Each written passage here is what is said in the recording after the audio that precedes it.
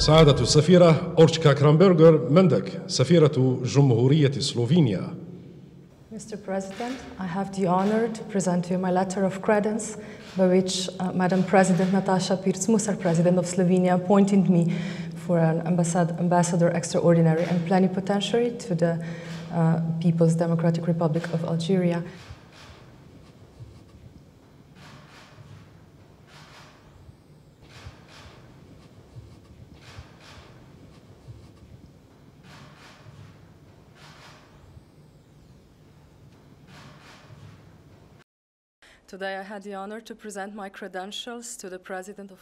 اليوم كان لي الشرف أن أقدم أوراق اعتمادي إلى فخامة رئيس الجمهورية السيد عبد المجيد تبون أنا فخورة بأن أكون أول سفيرة بالجزائر.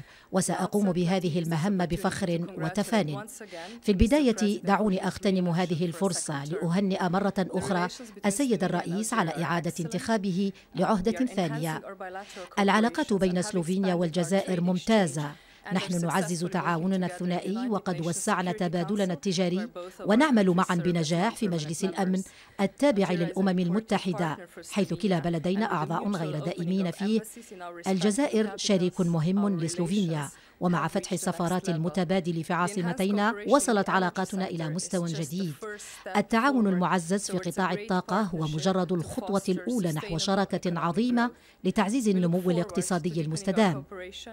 نتطلع إلى تعميق تعاوننا في المجال الثقافي والأكاديمي بالإضافة إلى اكتشاف فرص للعمل بشكل أقرب في مجال الرياضة بناء على التعاون الرائع القائم بالفعل.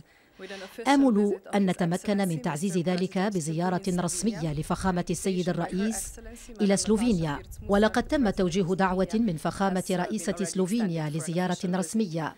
بصفتنا أعضاء في مجلس الأمن التابع للأمم المتحدة مواقف سلوفينيا تتماشى مع مواقف الجزائر بشأن العديد من التحديات العالمية الرئيسية مثل الوضع في الشرق الأوسط.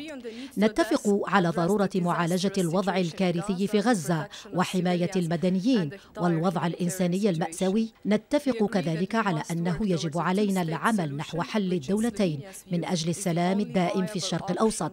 أخيرا أود أن أعبر عن امتناني لشعب الجزائر على حفاوة الاستقبال سنكتشف فيه بلدكم الجميل الجزائر بينما نقدم لكم بلدا جميلا آخر هو سلوفينيا Thank you very much.